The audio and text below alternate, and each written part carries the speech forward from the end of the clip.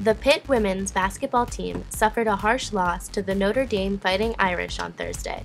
The girls fought hard against the number two team in the nation, but unfortunately could not recover from a 29 point deficit at the half. The girls managed to increase their field goal percentage by nearly 20% in the second half, but it still wasn't enough.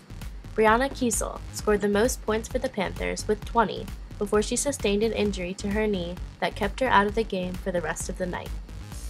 Marquel Davis also achieved double digits in the game, scoring 10 points. In the end, Pitt fell to Notre Dame by 43 points with a final score of 109 to 66. This leaves the girls with an ACC conference record of 1 and 3 and an overall record of 9 and 9.